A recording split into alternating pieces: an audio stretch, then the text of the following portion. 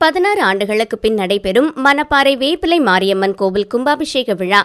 திருச்சி மாவட்டம் மணப்பாறை ஸ்ரீ வேப்பிலை மாரியம்மன் ஆலயம் புனரமைக்கப்பட்டு மூலவர் விநாயகர் மூலவர் ஸ்ரீ வேப்பிலை மாரியம்மன் பரிவார தெய்வ கோபுரங்களுக்கு இன்று புனராவர்த்தன அஷ்டபந்தன மகா கும்பாபிஷேக விழா நடைபெற்றது. காவிரி ஆற்றிலிருந்து அழகர் மலை மற்றும் புண்ணிய ஸ்தலங்களிலிருந்து தீர்த்தக்குடம் எடுத்தல் முகூர்த்தக்கால் ஊன்றுதல் முளைப்பாரி இடுதல் காப்பு கட்டுதலுடன் தொடங்கிய மகா கும்பாபிஷேக விழாவில் இன்று மங்கள இசையுடன் முதற்கால யாக பூஜை தொடங்கியது. மாலையில் ரக்ஷா பந்தனம் யாகசாலை பிரவேசம் கும்ப அலங்காரம் திருமுறை பாராயணம் ஆகியவை நடைபெற்றது.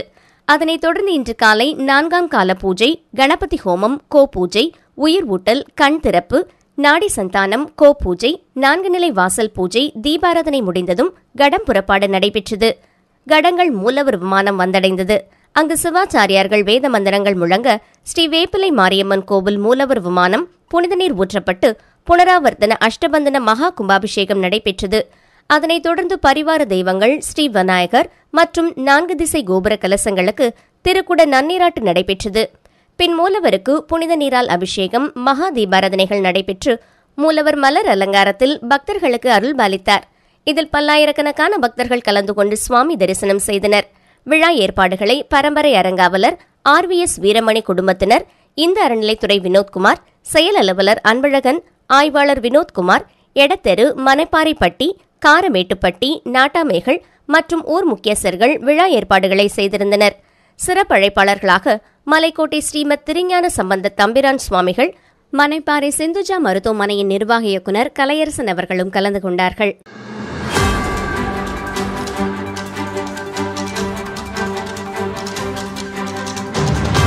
திருவண்ணாமலை அண்ணாமலையார் கோவிலில் பங்குனி மாத உண்டியல் காணிக்கை இரண்டு கோடியே ஐம்பத்தைந்து லட்சத்து இரண்டாயிரத்து எண்ணூற்றி இருபது ரூபாயும் தங்கம் இருநூற்றி அறுபத்தைந்து கிராம் இரண்டு கிலோ முன்னூற்றி இருபத்தி இரண்டு கிராம் வெள்ளி என கணக்கிடப்பட்டுள்ளது. நினைத்தாலை முக்தி தரும் திருவண்ணாமலை அண்ணாமலையார் கோவிலில் மாதந்தோறும் பௌர்ணமி நாட்களில் லட்சக்கணக்கான பக்தர்கள் பதினான்கு கிலோமீட்டர் தூரம் கொண்ட கிரிவலம் வந்து அண்ணாமலையாரை வழிபடுவது வழக்கம். வரும் பக்தர்கள் காணிக்கை செலுத்த வசதியாக அண்ணாமலையார் கோவில் அஷ்டலிங்கம் திருநேர் அண்ணாமலையார் கோவில் உள்ளிட்ட ஐம்பதுக்கும் மேற்பட்ட இடங்களில் தற்காலிக ஊழியர்களால் உண்டியல் அமைக்கப்பட்டு பக்தர்கள் காணிக்கை செலுத்தினர். அதன்படி பங்குனி மாத பௌர்ணமி தினத்தன்று பக்தர்களால் உண்டியலில் செலுத்தப்பட்ட காணிக்கைகள் நேற்று திருவண்ணாமலை அண்ணாமலையார் திருக்கோவிலில் உள்ள திருக்கல்யாண மண்டபத்தில் கோவில் ஊழியர்கள் மற்றும் பக்தர்களால் காணிக்கை எண்ணும் பணி நேற்று காலை கோவில் திருக்கல்யாண மண்டபத்தில் தொடங்கியது. நேற்று எண்ணப்பட்டதில் இரண்டு கோடியே ஐம்பத்தி ஐந்து லட்சத்து இரண்டாயிரத்து எண்ணூற்றி இருபது ரூபாய் ரொக்கமும் இருநூற்றி அறுபத்தைந்து கிராம் தங்கமும் இரண்டு கிலோ முன்னூற்றி இருபத்தி இரண்டு கிராம் வெள்ளியும் பக்தர்களால் காணிக்கையாக வழங்கப்பட்டுள்ளது.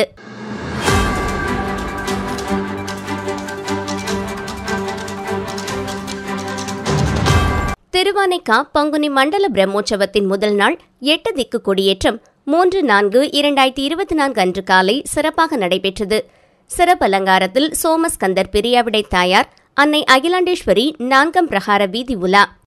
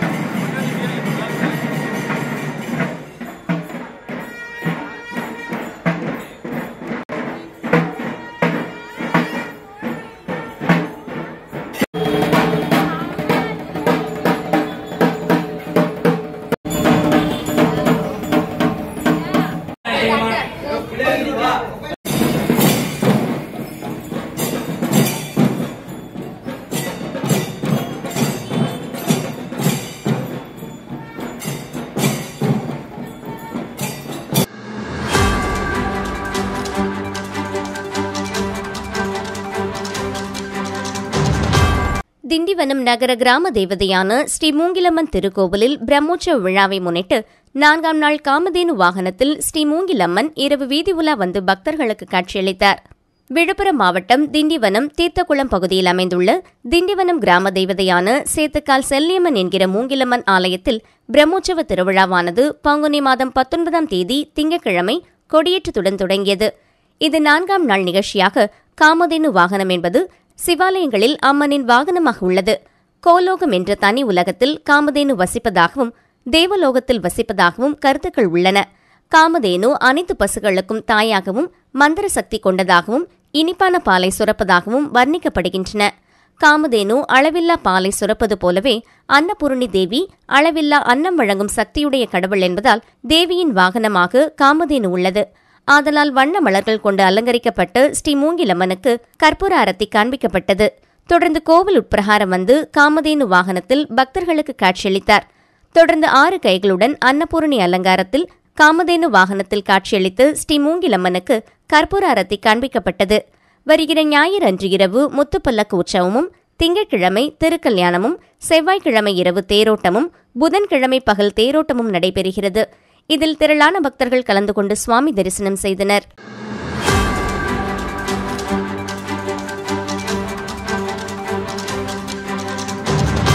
குற்றாலத்தில் பிரசித்தி பெற்றதும் ஆயிரம் ஆண்டுகள் பழமை வாய்ந்த குற்றாலநாதர் ஆலயத்தில் சித்திரை விசு திருவிழா கொடியேற்றத்துடன் துவங்கியது. திரளான பக்தர்கள் கலந்து கொண்டு சுவாமி தரிசனம். சிவகங்கை மாவட்டம் மேற்கு தொடர்ச்சி மலையின் அடிவார பகுதியில் அமைந்துள்ள ஆயிரம் ஆண்டுகள் பழமை வாய்ந்ததும் பிரசித்தி பெற்ற தலமான குற்றாலநாதர் ஆலயத்தில் ஆண்டுதோறும் சித்திரை விசு திருவிழா மார்கழி ஆருத்ரா தரிசன விழா வெகு விமர்சையாக கொண்டாடப்படும். அந்த வகையில் இன்று சித்திரை விசு திருநாளை முன்னிட்டு குற்றாலநாதர் சுவாமி சன்னதியின் எதிரே உள்ள கொடிமரத்தில் மஞ்சள் சந்தனம் பால் தயிர் இளநீர் உள்ளிட்ட பதினாறு வகை மூலிகைப் பொருட்களால் அபிஷேகம் செய்யப்பட்டு வேத மந்திரங்கள் முழங்க பஞ்சவாத்தியங்கள் இசையுடன் வெகு விமர்சையாக கொடியேற்றப்பட்டது.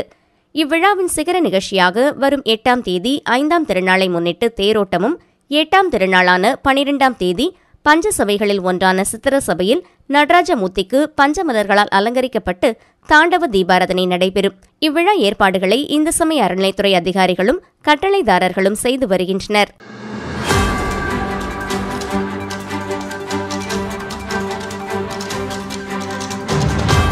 திருக்கோஷ்டியூர் அருள்மிகு வடக்கு வாசல் செல்வியம்மன் திருக்கோவிலில் பூச்சொரிதல் விழா. ஏராளமான பக்தர்கள் அம்மனுக்கு பூக்களை சமர்ப்பித்து வழிபாடு செய்தனர். சிவகங்கை மாவட்டம் திருப்பத்தூர் அருகே உள்ள திருக்கோஷ்டியூரில் அமைந்துள்ள பிரசி பெற்ற அருள்மிகு ஸ்ரீ வடக்கு வாசல் செல்வியம்மன் திருக்கோவிலில் முப்பத்தி இரண்டாம் ஆண்டு பூச்சொரிதல் விழாவை முன்னிட்டு பக்தர்கள் அம்மனுக்கு பல வகையான பூக்களை சமர்ப்பித்து வழிபாடு செய்தனர். முன்னதாக மூலவர் வடக்கு வாசல் செல்வி அம்மனுக்கு சந்தனக்காப்பு அலங்காரம் நடைபெற்று சிறப்பு பூஜைகள் நடைபெற்றன. தொடர்ந்து ஏராளமான பக்தர்கள் மறிக்கொழுந்து மல்லிகை கனகாம்பரம் செவ்வந்தி அரளி உள்ளிட்ட பல வகையான பூக்களை தாம்பாளங்களில் வைத்து மங்கள வாத்தியங்கள் மற்றும் வான வேடிக்கைகளுடன் நகரின் முக்கிய வீதிகள் வழியாக ஊர்வலமாக வந்து கோவிலை அடைந்தனர். பின்னர் அம்மனுக்கு பக்தர்கள் சமர்ப்பித்த பூக்களால் அபிஷேகம் செய்து பூச்சொரிதல் விழாவை நடத்தினர். நிறைவாக அம்மனுக்கு ஏகமுக கற்பூர அரதனை காண்பிக்கப்பட்டது. இதில் ஏராளமான பக்தர்கள் கலந்து கொண்டு ஸ்ரீ வடக்கு வாசல் செல்வி அம்மனை வழிபட்டனர்.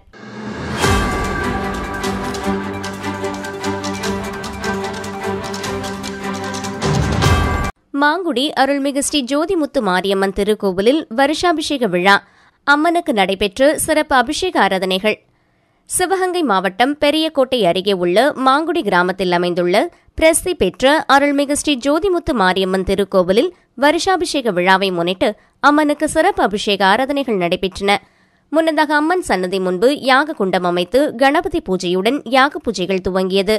தொடர்ந்து அம்மனின் மூல மந்திரங்கள் கூறி யாக குண்டத்தில் நூற்றி எட்டு மூலிகைப் பொருட்கள் பூர்ணாகதி அளித்து தீபாரதனை காண்பிக்கப்பட்டன. பின்னர் மூலவர் ஜோதிமுத்து மாரியம்மனுக்கு திருமஞ்சன பொடி மஞ்சள் பால் தயிர் சந்தனம் பன்னீர் உள்ளிட்ட பல வகையான நறுமண திரவியங்கள் கொண்டு சிறப்பு அபிஷேகங்கள் நடைபெற்று கலசத்தில் உள்ள புனித நீரால் அபிஷேகம் செய்யப்பட்டது. தொடர்ந்து அம்மனுக்கு புதுப்பட்டு வஸ்திரம் அணிவித்து வண்ண மலர் மாலைகள் கொண்டு சிறப்பு அலங்காரம் செய்யப்பட்டன. பின்னர் உதிரி புஷ்பங்களால் அர்ச்சனைகள் செய்து மகா கற்பூர அரதனை காண்பிக்கப்பட்டது. இதில் சுற்றுவட்டார பகுதிகளில் இருந்து ஏராளமான பக்தர்கள் கலந்து கொண்டு அம்மனை வழிபட்டனர்.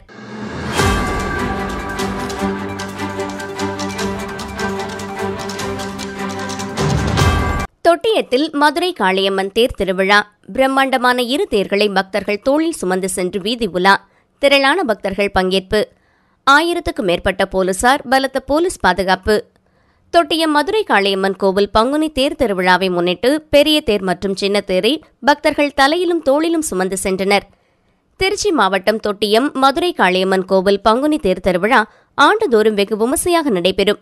இந்த ஆண்டு பங்குனி தேர் திருவிழா கடந்த பனிரெண்டு மூன்று இரண்டாயிரத்தி இருபத்தி நான்கு அன்று முதல் தட்டு சாத்துதல் பத்தொன்பது மூன்று இரண்டாயிரத்தி இருபத்தி நான்காம் தேதி பூச்சொரிதல் விழாவுடன் தொடங்கியது. இருபத்தி ஆறு மூன்று இரண்டாயிரத்தி இருபத்தி நான்காம் தேதி காப்பு கட்டுதல் அடைத்த கோவிலுக்கு ஆயிரம் பானையில் பொங்கல் வைத்தல் திருக்கதவு திறந்து சிறப்பு பூஜை பூச்சொரிதல் உள்ளிட்ட பல்வேறு நிகழ்ச்சிகள் நடைபெற்றது. மேலும் விழாவின் முக்கிய நிகழ்வான திருத்தேர் தலையலங்காரம் இரண்டாம் தேதி நடைபெற்றது. அதனைத் தொடர்ந்து நேற்று மாலை ஐந்து மணி அளவில் பெரிய தேர் மற்றும் சின்ன தேர் திருத்தேர் திருவிதி உலா நடைபெற்றது. அப்போது பக்தர்கள் பெரிய தேர் மற்றும் சின்ன தேரை தலையிலும் தோளிலும் பக்தியுடன் சுமந்து சென்றனர். பெரிய தேரில் ஓலை பிடாரி அம்மனும் சின்ன தேரில் மதுரை காளியம்மனும் எழுந்தருளி பக்தர்களுக்கு அருள் பாலித்தனர் தொட்டியம் மதுரை காளியம்மன் கோவிலில் இருந்து தொடங்கிய திருத்தேர் திருவீதி உலா கோட்டைமேடு வழியாக சென்று பண்ணைவீடு பகுதியை அடைந்தது. இதைத் தொடர்ந்து சந்தைப்பேட்டை திருச்சி சேலம் மெயின் ரோடு வழியாக சென்று வானப்பட்டறை மைதானம் சென்று பின்னர் எல்லை உடைக்கும் நிகழ்வும் வானவேடிக்கை நிகழ்ச்சியும் நடைபெறும். திருவிழாவிற்கான ஏற்பாடுகளை தொட்டியம் பகுதியைச் சேர்ந்து பதினெட்டுப்பட்டி கிராம ஊர் பொதுமக்கள் கோவில் நிர்வாகம் மற்றும் கோவில் பூசாரிகள் செய்திருந்தனர். திருச்சி போலீஸ் எஸ்பி வருண்குமார் மேற்பார்வையில் எண்ணூறுக்கும் மேற்பட்ட போலீசார் பாதுகாப்பு பணியில் ஈடுபடுத்தப்பட்டுள்ளனர்.